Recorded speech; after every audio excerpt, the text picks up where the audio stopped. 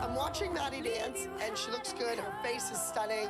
She really told the story with her face. There's this part where she does about stealing the scene, and she really did it well. She certainly was the star of the show.